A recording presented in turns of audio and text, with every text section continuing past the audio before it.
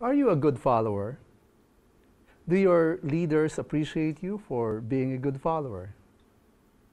If you search the internet, there is no lack of resources for those who aspire to be good and effective leaders. Every year, uh, dozens of books are published on leadership. Hundreds of videos on the subject are available on video streaming websites. And there are thousands upon thousands of articles posted in various websites, shared on all kinds of social media platforms, giving great advice and valuable lessons on how one can become a good leader. And many will tell you that if you want to be a successful leader, you make sure that you are seen as a leader and not a follower. Even if you don't feel like it, you, you fake it until you make it.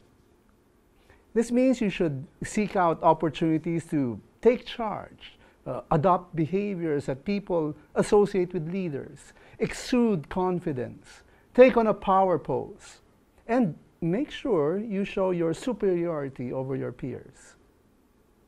I really doubt if one will become a leader by doing this.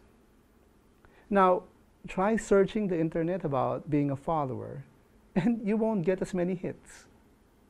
This is quite unfortunate because in reality, there will never be any effective leader unless there are faithful followers.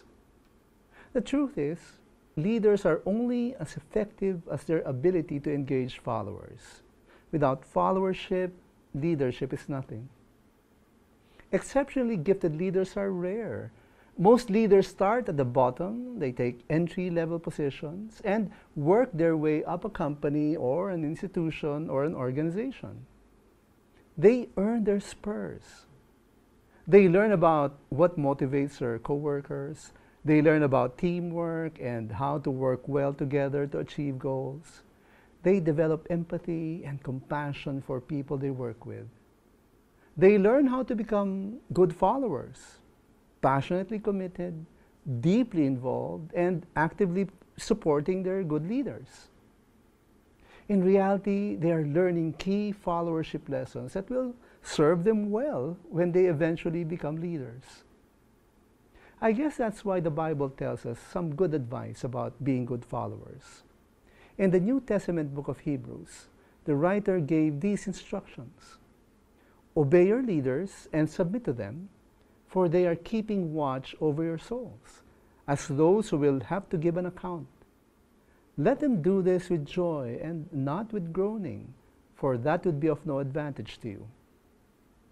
So, are you a good follower? Perhaps God is preparing you to become a leader someday. And as we learn to become good followers and hopefully grow into great leaders, may we always remember faith matters too.